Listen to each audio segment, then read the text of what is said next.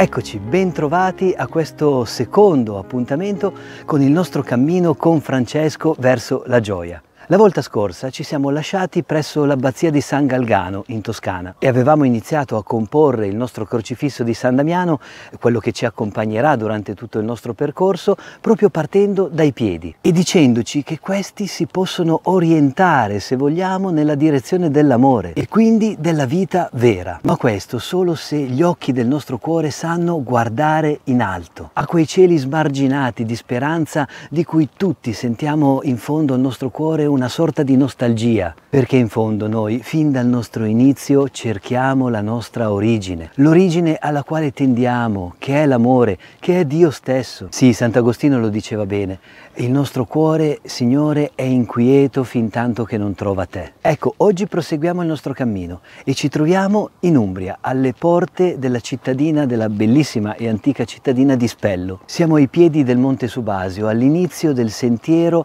che porta verso Assisi. E sì, e di qui passò Francesco, di ritorno verso casa dopo quella misteriosa visione che ebbe nella notte di Spoleto, mentre era in viaggio per la Puglia, dove lo spingevano i suoi sogni di gloria, di poter diventare un cavaliere eh, forte e vittorioso eh, sotto la guida di Gualtiero di Brenne. Però succede qualcosa ed è appunto quella che si chiama eh, la famosa notte di Spoleto, notte in cui la vita del giovane Francesco inizia a prendere una direzione diversa.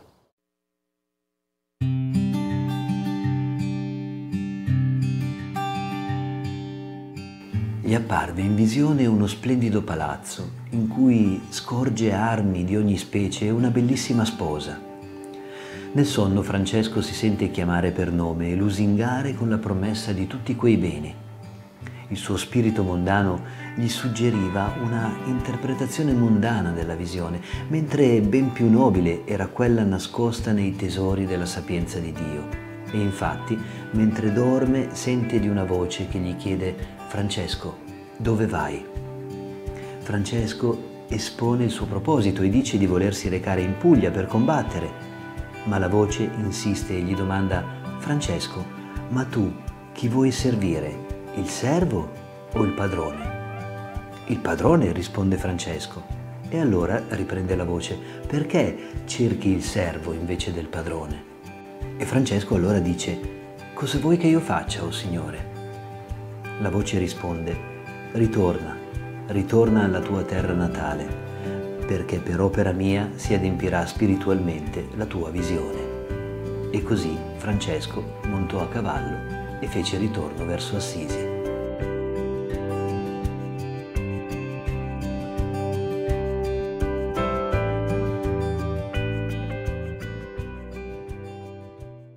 La notte di Spoleto mette in profonda discussione Francesco e gli fa cambiare rotta, un po' come era accaduto a San Galgano. Francesco, dove vai? Ecco, questa è la domanda che dobbiamo farci anche noi continuamente. Dove stiamo andando? Eh, quali sono le coordinate che abbiamo impostato per orientare la nostra vita? Chi vogliamo servire? E quest'ultima oggi è proprio una bella domanda se ci pensate. Sì, perché oggi la risposta più automatica è un categorico e colossale nessuno. Nessuno può orientare la mia vita, nessuno voglio servire. Che domande sono? Io voglio essere libero. Ma Francesco in quella notte intuisce qualcosa. Capisce che per essere pienamente se stessi non si può rimanere isolati. Capisce che la relazione con qualcuno è necessaria alla vera libertà. Si tratta di capire chi è quel qualcuno, una creatura? Mm, no, Francesco viene invitato ad alzare lo sguardo e a cercare l'origine, la fonte alla quale tutte le creature tendono assetate di vita autentica, assetate di senso. Insomma, Francesco intuisce che dietro alle creature c'è un creatore e a lui occorre tendere. Così la direzione cambia ritorna alla tua terra natale, si sente dire Francesco. Torna dove sei nato, torna a te stesso, potremmo dire noi. Un po' come fece Abramo all'inizio della storia della salvezza. Il termine ebraico che leggiamo nella scrittura quando appunto eh, incontriamo il brano dove Abramo viene invitato a lasciare la sua terra è Lech Lecha, che significa sia esci, vai, vai fuori, sia torna a te stesso. È interessante perché in qualche modo sembra quasi che eh, ehm, tornare a se stessi comporti anche un'uscita da sé, arrendersi quindi in qualche modo all'evidenza che non possiamo salvarci da soli. È così che possiamo cambiare direzione alla nostra vita, capendo che ci è necessaria una relazione con qualcuno per essere pienamente noi stessi. E quel qualcuno, in fondo, è Dio stesso. Francesco capisce questo e cambia direzione. Abbandona i suoi sogni di gloria per cercare non più qualcosa,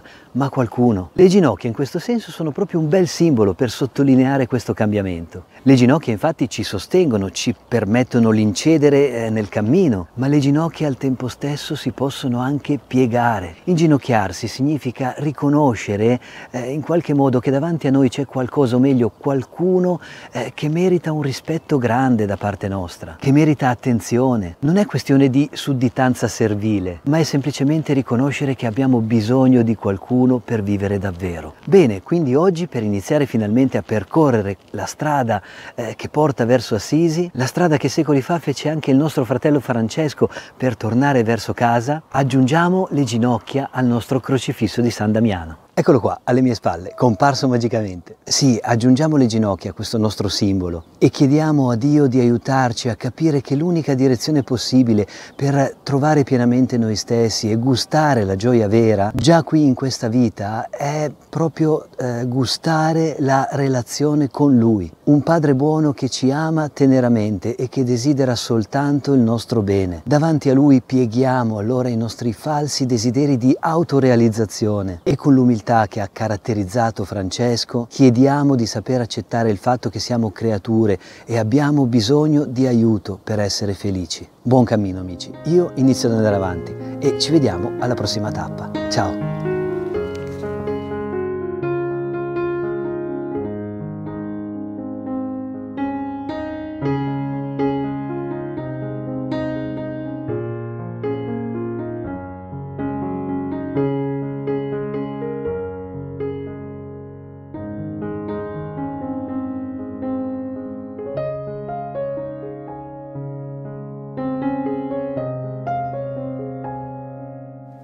Confida nel Signore e fai il bene.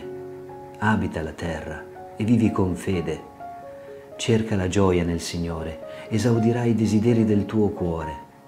Manifesta al Signore la tua via, confida in Lui, compierà la sua opera. Sta in silenzio davanti al Signore e spera in Lui. Il Signore fa sicuri i passi dell'uomo e segue con amore il suo cammino. Se cade, non rimane a terra, perché il Signore lo tiene per mano.